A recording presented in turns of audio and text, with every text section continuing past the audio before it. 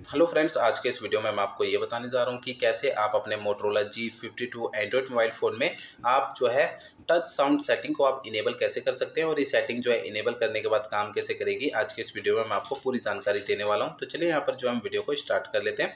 सबसे पहले तो आपको जो है अपने मोबाइल फ़ोन में सेटिंग पेज ओपन कर लेना है।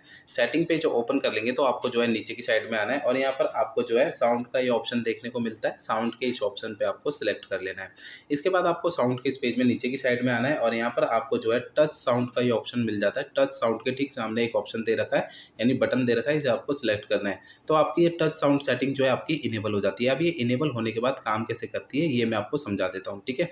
तो यहाँ पर आपको जो है कोई भी अपने मोबाइल फ़ोन पे किसी भी एप्लीकेशन में होंगे आपको किसी भी ऑप्शन को या बटन को आप टैप करेंगे तो एक साउंड क्रिएट होगा जब भी आप टैप करेंगे। मैं आपको साउंड सुना देता हूँ कैसा होता है। तो मैं ये जो है अपने मोबाइल फ़ोन का ये बैक बटन यहाँ पर टैप करूँगा, यानी सेलेक्ट करूँगा इसे तो एक साउंड क्रिएट होगा। आप ध्यान से सुनिएगा।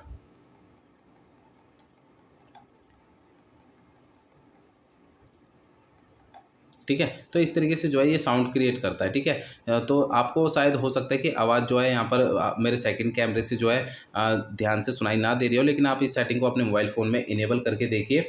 तो ये सेटिंग जो है काम करती है, ठीक है? अब मैं आपको बता देता हूँ कि ये टच साउंड सेटिंग जो है आप अपने मोबाइल फ़ोन में कैसे शॉर्टकट तरीके से आप इस सेटिंग को ढूंढ सकते हैं। इसके लिए आपको सेटिंग पेज ओपन कर लेना है और इसके बाद आपको सबसे ऊपर ये सर्च सेटिंग का ऑप्शन दिखाई देता है। सर्च सेटिंग पर आपको इसे सेलेक्ट करना है और यहाँ पर आपको सर्च में टाइप कर देना है टच साउंड ठीक है? तो यहाँ पर आपको जो है टच साउंड आपको यहाँ पर टाइप कर देना है और नीचे की साइड ये ऑप्शन शो हो जाएगा टच साउंड का, ठीक है?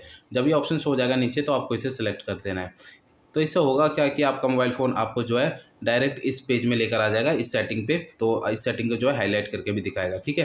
तो यहाँ पर जो है ये setting touch sound setting enable करने के बाद कुछ इस तरीके से काम करती है।